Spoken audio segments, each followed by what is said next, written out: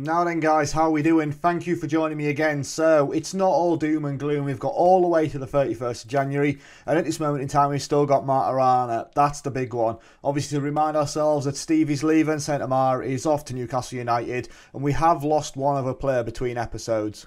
So Ancora has left us. He has gone to Rio Ave. This is a team that was after Martirana, but again, I've been done over by a release clause. Now, we paid £4 million for him, and for whatever reason, I've made a decision when I've renewed his contract or sorted his contract out to put a £1.5 million release clause in there. I don't know what I was thinking. Like I say, we paid £4 million for him, but they come in, £1.5 million, activated his release clause and off he's gone. So we've made a 2.5 million loss on him. But Ancora off to Portugal.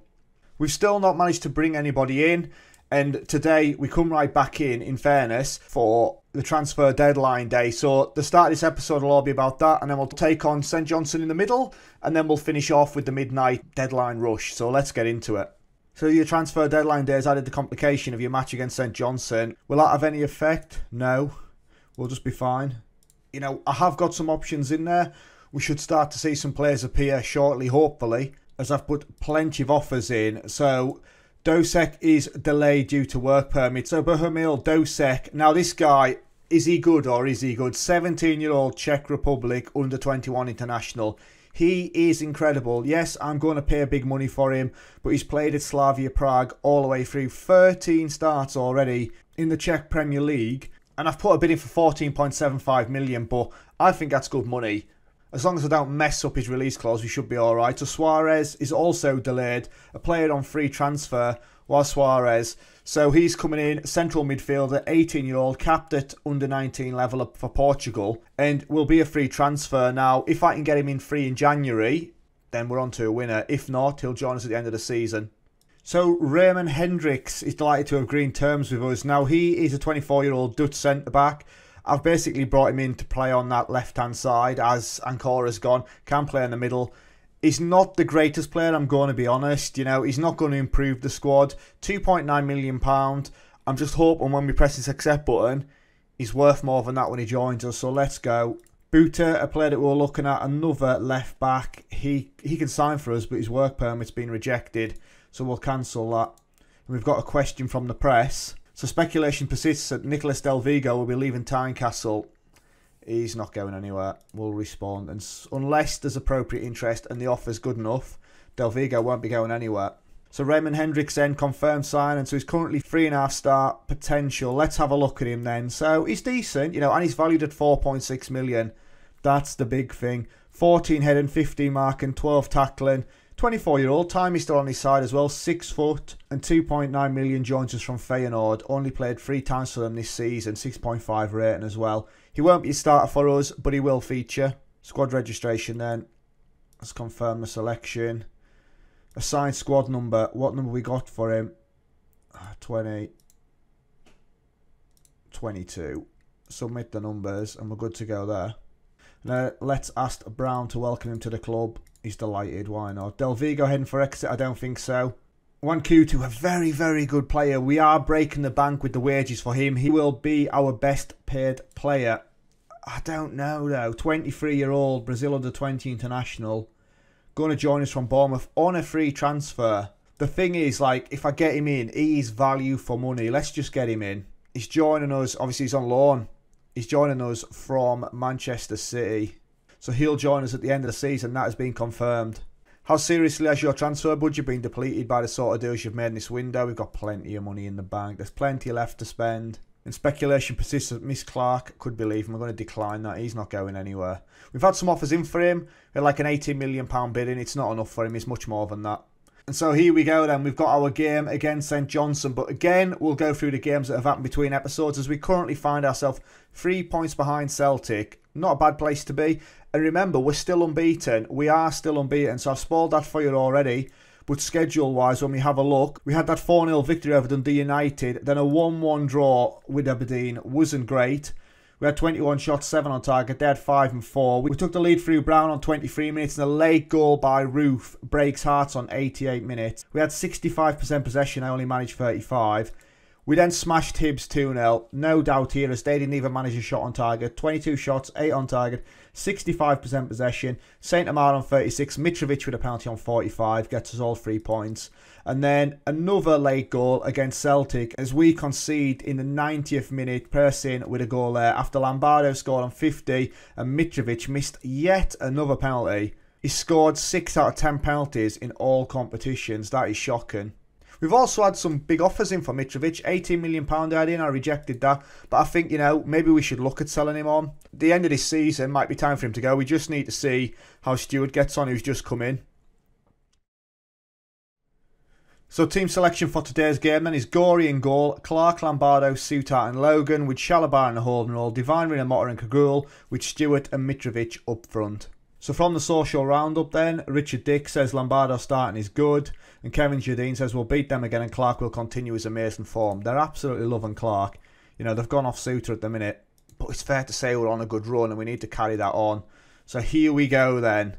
Celtic are losing already against Aberdeen. It's 1 0 there. Rangers 0 0 with Hamilton. Rangers are long gone. You know, they're not the force they once were. They keep trying to buy our players though. As Clark has a long loop and throw into the box. Kagool isn't going to get there. Stewart has scored. There you go. Stewart on his debut. 12 minutes in and it is 1 0. That is one of the worst goals we'll see. You know, the ball just bounces about in the box. The keeper stays at home.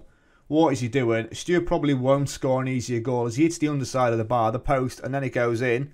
Celtic 1 1 with Aberdeen now. Turnbull has scored, and Turnbull has missed a penalty on 16 minutes. It's safe to say that Celtic are probably going to win that one. As Aberdeen have scored again. Smith on 26 minutes. It's now 2 1 there. Right, here we go then. We need to get all the possession. We do Souttar to Logan. Rinomhota out to Kagool. Right, can he find a way through? Rinomhota to Divine. It's cut out, we're back in possession. It's a wet day today as Kagool is through on goal, and that is a great finish, Kagool. It was a cracking ball through as well. Chalobah on it. Kagool, what a finish. Outside of the boot, round the keeper, 2-0 on 34 minutes. That Celtic result is massive if it stays like that. This is a free kick in a dangerous area then. Thomas with the ball across Gordon, it's blocked. Chalobah gets in the way. Divine on it. Rangers are 1 0 up now against Hamilton. It's getting to half time, 2 0, and hopefully Celtic will be losing as well. We'll check the latest scores. Celtic have scored, it's two apiece. We can't even see the goal scorers, it's only just happened. Surprise, surprise. Dressing room wise, then, for us, I'm very happy with how things are going. Tactically, do I make any changes? Probably not, if I'm honest. There's Rinomhota and Diviner on 6.8. Maybe get Rinomhota off, but fitness-wise, he's looking good, so we'll just carry on. Needn't take him off. He's not leggy. There's a highlight then in the first 30-odd seconds of the second half. Clark with the ball through to Divine. Go on, lad. Easy peasy. How has he not scored Kragul as though? It's his ninth goal of the season. His second of the game. I don't know if that was a shot or an assist. Either way, we put it in the net eventually, and it's 3 0. Start of the second half, that is as we just need to keep on chasing Celtic. Goal difference will help us out. That is poor. I, I can only assume that that is a pass. As Aberdeen are 3-2 up. Duffy scores on 46 minutes. Kragul's taken a knock. Like Clark with the long throw into the box then. We need to get Kragul off. Which is unfortunate because he's on a hat-trick. Zander Clark then with the ball out. Are we cutting it out? We're not getting there though. It's Bowie. He's on his way through. He's one on one. And it's off the side net, and I think. Right, we're making a change then. Doyle is going to come on for Kagool. And I'll tell you what, I'm going to bring Longstaff on for Rinomhota. Uh, Matty Longstaff, back from his injury. His first game for us. You know, end of January. We bought him in August. Ain't great. We've had seven shots, six on target, and we're 3 0 up. Clark then on the ball. Ball through the middle to Mitrovic. Longstaff, there we go, gets a touch. Chalobah. Ball out, that's a cracking ball to Stewart. And he gets two on his debut. What a goal. Stewart gets it. Two for Stewart, two for Kagool. That ball from Chalobah there. So we just watch it. And Stewart with a great finish. And straight into another highlight then. A St Johnstone on the ball. Can we nick it and go down the other end and score again? McCart on it. Get the press on. Ball over the top. Souttar down. Here we go. We're back in possession. Longstaff with the ball through this time. Stewart heads it down. Out wide to Devine. Ball in. Stewart gets a hat trick on his debut. What a debut that is. It's 5 0. And I said this guy was going to be something special. He brought him in from Spurs where he never played a game. And what a finish that is. Now Divine with the ball in. On the volley. That is a great finish. Pick that out. The 77 then. Another highlight. Stewart on the ball. Clark to Devine. Go on. Is there another one coming here? Doyle. It's cleared away. Logan, pick it up. Longstaff. We're going to make another opportunity here. We don't. That is wasteful. As Souttar down. St Johnstone have got no answers though. Stewart down. Doyle has a crack and we score again. It is 6 0. Another one of my January signings gets a goal. You know, he's me thinking we were going to be weaker losing these plays. Diallo, like I say, is a decent player for us, but he wasn't a standout. He was solid. He done his bits. He done his bits quietly. That's what I want to be saying. As we're going to make a change, I'm going to get Martirana on for Divine. Give Sammy a run out towards the end of the game. And there's another highlight then as Clark goes short this time to Mitrovic. It's cleared away. Only to Clark though. Great pass back to him. Longstaff has a crack. Can you imagine if he'd scored as well? As we could get another goal here. We are knocking on the door. Chalobah, Mitrovic, Clark, Martirana. Go on, Sammy lad. It's blocked and it's cleared away. Corner ball. As Aberdeen go 4-2 up against Celtic. Longstaff with the ball in. It's cleared away. Martirana's chasing back, and it's a great tackle. Well timed for a change from Sammy. He loves a red card. Celtic are losing 4-2 as Tate has a free kick on the 90th minute. We don't want to play no games as Gorey. I think that's the first save of the game for him as well. And there we go, it's full time. So we win 6-0. What a game. Hat-trick for Stewart, brace for Kregul and a goal for Doyle. Perfect team performance. I'm very happy with that, lads. Well done. 6 0 victory helps our goal difference, especially if Celtic have ended up losing as well.